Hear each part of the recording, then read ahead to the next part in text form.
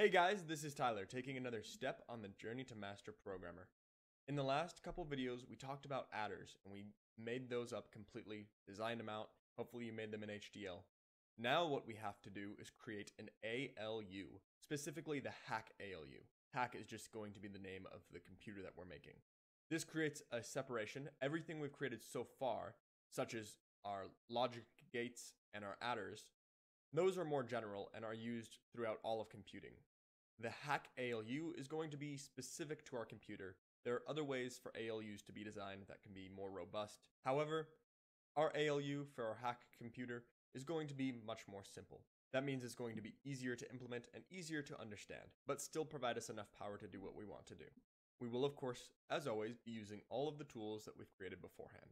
So what is an ALU supposed to do? Well, an ALU takes two multi-bit buses, in our case 16 bits, and it will produce one main 16-bit output, but it will also take in several other control bits and output two other sort of flags. What these control bits are set to determine what operations we're going to perform on our two inputs. Starting at the left, we have ZX.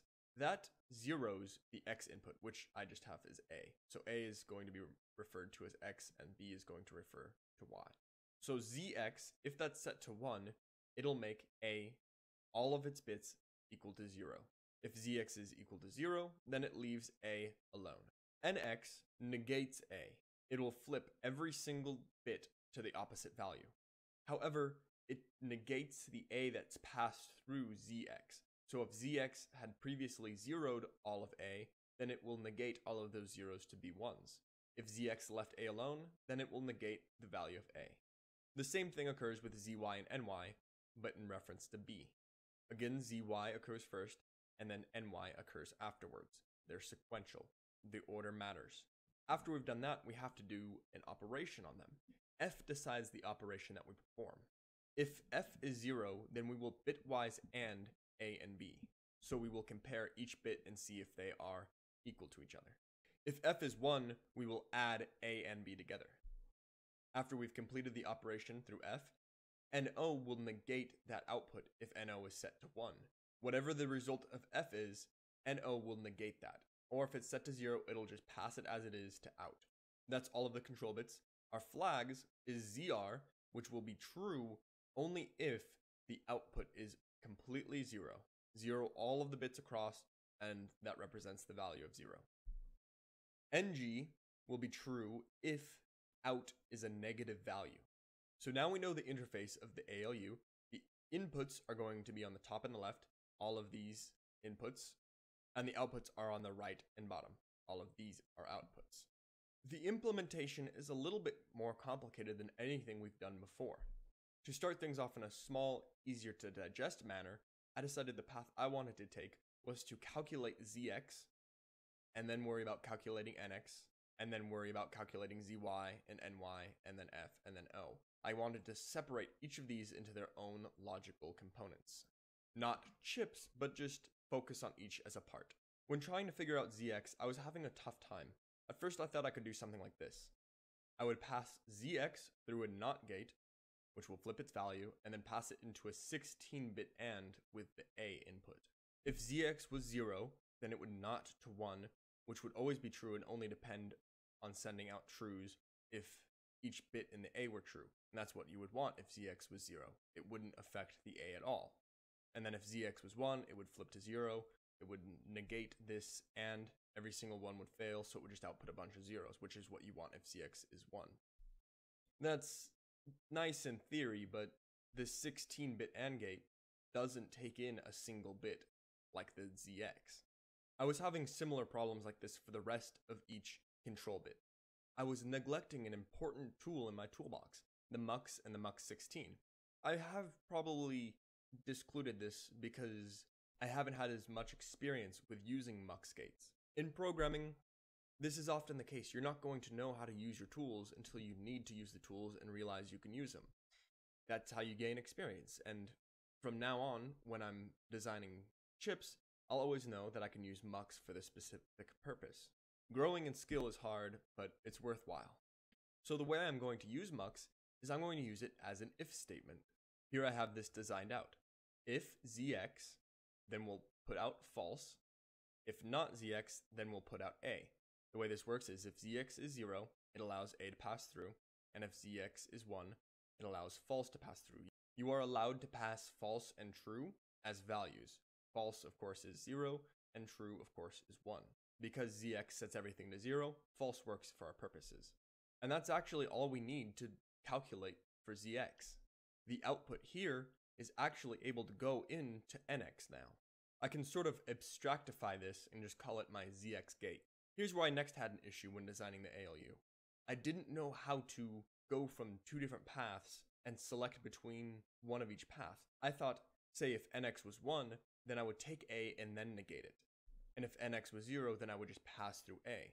When I figured out how to use the MUX gate correctly, this kind of solved the problem. I realized that instead of seeing the control bit first and then performing on it, I would do both calculations and then decide which calculation I wanted to keep based on the control bit. I demonstrate that concept here. I'm passing the output directly into a mux, but I'm also passing that negated output into the mux. So I had to do the calculation beforehand before I knew which one I wanted. Now I have them both. It's just a matter of which one I should keep, and that's decided with nx. If nx is 1, then we'll keep the negated path, and if nx is 0, then we'll keep the unaltered path.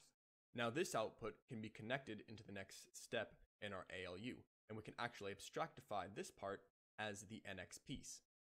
I went ahead and minimized that, sort of kept those abstractions into a small part so I could fit more of the design, and I also created the same thing for B with respect of ZY and NY. These first processes on A and B are the exact same thing and they don't affect each other at this point, so you can compute them in parallel. Now comes the part where they will merge, and that depends on the F bit. Like I said though, we're going to do the calculations first for the two separate paths, and then decide between them with the F bit. The path that A and B are now going to take is whether they are going to be added together, or if they're going to be compared through an AND gate. So you can see here, I AND them, and here I add them, and they're on their own separate paths. Now I just decide between the two with the F bit. If F is 1, we keep the add path, and F is 0, we keep the AND path. The output of this is going to be fed into the next step of the ALU, and we can of course abstractify all of this part. Our next and last control bit is NO, which negates whatever's coming out of F. We've already seen this before with NX and NY. We just create two separate paths, one which keeps the current value, and one which will negate the current value. We pass those through a mux and use NO as the selector bit. The output of this is actually going to be the full output of our ALU. However, we still have two other outputs that we need to worry about. This is another piece I got stuck on because you can't take out and force that into the other outputs. You have to go from this point right here. This is important in HDL where you are forced to go through this output right here, the output of the mux. We'll immediately split off of this mux and we'll worry about the individual bits. First of all, we look at bit 15. Bit 15 is the leftmost bit. We know that this is the bit that determines whether or not something is negative. If bit 15 is negative, it'll be 1, which we want ng to be 1 in that case. If bit 15 is 0, then it'll be positive and we want ng to be 0 in that case. So we can just feed bit 15 directly into ng, and that satisfies what we want with that. Next, we want to see ZR. ZR is whether it's 0 or not. A number is 0 only if all of the bits in it are 0.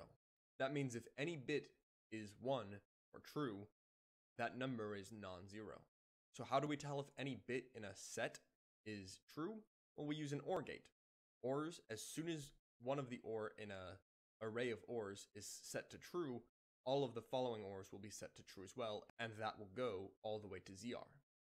If all of the bits in an OR array are zero, that'll all coalesce down to zero, which we'll put out to ZR. We're working with a 16-bit bus out of this MUX, so we're going to need some way to turn multiple bits down into one bit. We can actually do this with our 8-way OR.